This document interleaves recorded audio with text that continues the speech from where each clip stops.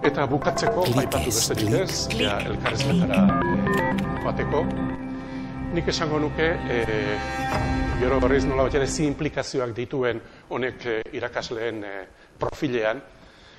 Irakasleen profila e, bide askotatik, lehenko diapositibak hor daude, ez ditu komentatuko, bide askotatik begiratu daitezke. E, nire begirada izango da, kontuan hartzea, irakaslearen profila definitzeko zein den hezkuntza eredua.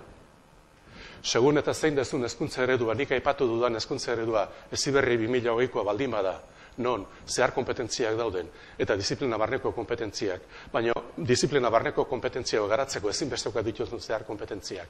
Eta zehar kompetentzia garatzeko ezin duzu besterik egin disiplina barneko kompetentzien bidez ez bada, horreia hezkuntza eredu bat ekartzen du, eta horrek nola bat ere eragiten du batetik.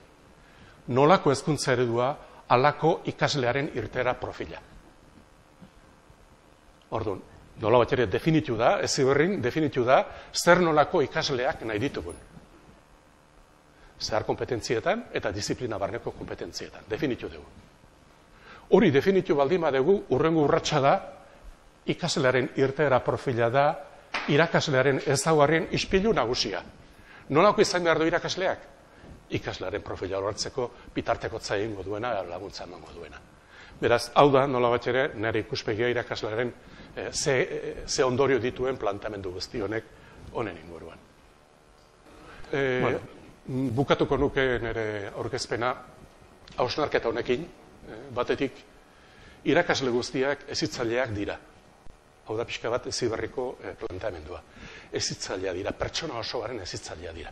Bakutza, eta oso importantea da, bakutza bere e, ikasgai edo arloarekin. Oso importantea da, baina danak dira ezitzailea dira. Eta hoien funtzioa ez da bakarrik ikasla, ikasarloa irakastea, ikastarloan bidez, ikaslea bizitzaren eremu guztietan modu egokean jarruteko prestatzea bezik.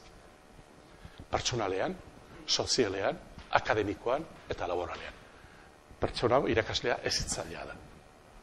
Bi, irakaskuntza ikaskuntza prozesuko protagonistak ikasleak dira, ez da berria.